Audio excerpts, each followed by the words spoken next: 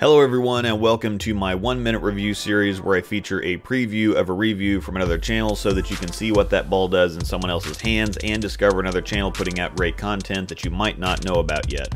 This video features Storm staffer Austin Bolds from the channel The Bowling Fix throwing the new Gravity Evolve which releases on October 25th. Austin is a competitive area and PBA regional player, which is no doubt obvious, and the Bowling Fix offers reviews from a couple different brands utilizing several different players and straight to the point ball reaction with ball to ball comparisons.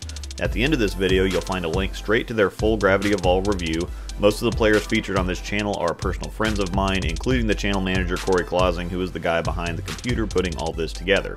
I highly recommend liking the video, sharing the video, subscribing to their channel, turning on notifications, and checking out the number of great videos that they already have up and available.